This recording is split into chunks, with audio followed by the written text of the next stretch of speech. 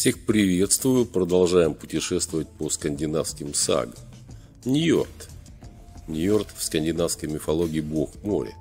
Он усмирял бури, поднятые буйным Игиром.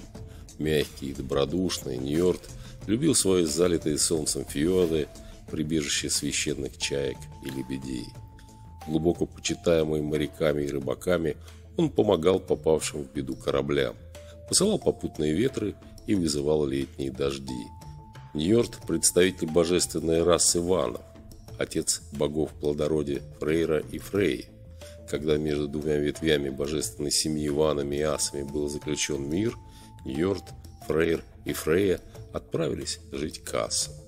По некоторым версиям мифа, матерью Фрейра и Фреи была родная сестра Ньорда Нертус, но так как Кассы не одобряли браки между братом и сестрой, то Нертус не сопровождала мужа и детей в Асгард. Второй женой Ньорда стала великанша Скади, дочь великана Тятцы. За похищение золотых яблок и Дун боги убили Исполина. И Скади, надев шлем и кольчугу, явилась к ним, горя жаждой мести. Однако согласилась заключить мир – Отказавшись от золота, Скади потребовала, чтобы боги рассмешили ее и дали супруга. Те поставили условие, что великанша выберет мужа по форме ног. Смеяться Скади заставил хитроумный Локки, а что касается супруга, то безошибочно полагая, будто самые красивые ноги непременно должны принадлежать сыну Одина Бальдру, богиня указала на ноги Ньорда доброго старого бога моря, которому были чужды волновавшие ее страсти.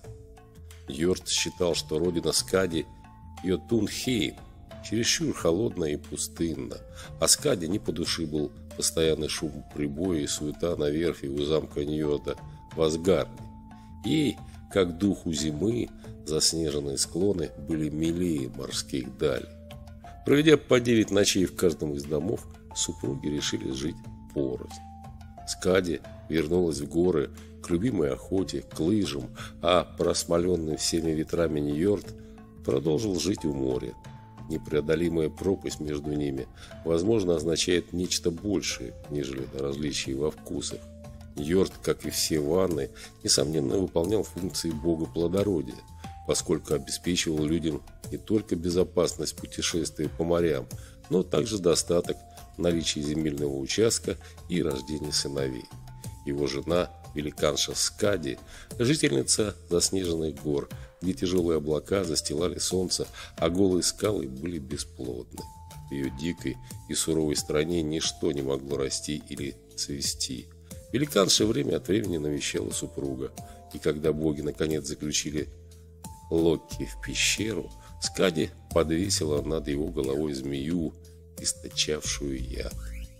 Ну вот так из скандинавских саг о Ньорд. В скандинавской мифологии бог моря. Пока-пока, до свидания.